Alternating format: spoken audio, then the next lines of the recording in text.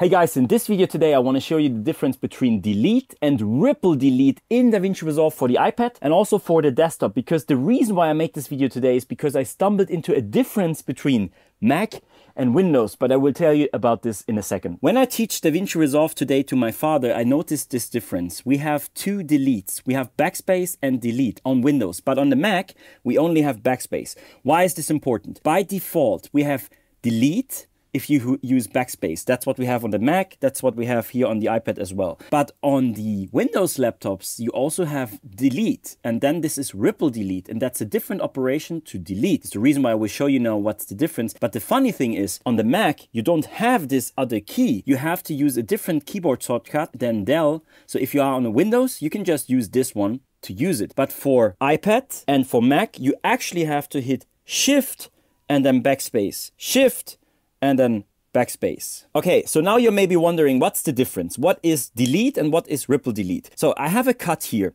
and if I select this clip and I hit delete, I basically just delete that one. I'm here in the edit page timeline and that's it. I delete this, I have a gap in here and that's it. But if I return back and I actually do ripple delete, so I click this and I hit shift and backspace, it will delete and move to the side immediately. It maybe feels like a minor difference between the two of them. When should you use which one? Delete or ripple delete? It totally depends on your editing style. So for example, if you delete many clips and always delete the gaps, then maybe ripple delete will make your editing faster. So it's totally up to you. And ripple delete is not the same that I have on my Q and my W. If you remember or you watched my video a little bit longer, like that I did in the last year, all about DaVinci Resolve on the iPad, I also use ripple delete backwards to the next clip and ripple delete forwards to the next next clip. So what do I mean by that? Ripple delete backwards and ripple delete forwards is a different type of deleting, ripple deleting. So if my playhead is somewhere here and I want to delete everything from my playhead to the beginning, I can simply hit Q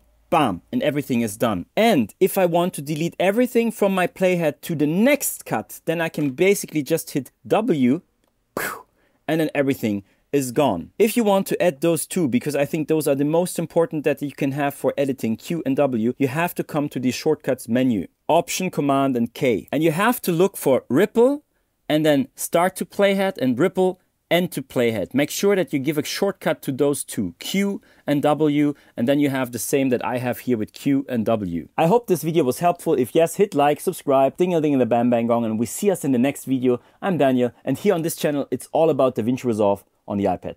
Bye!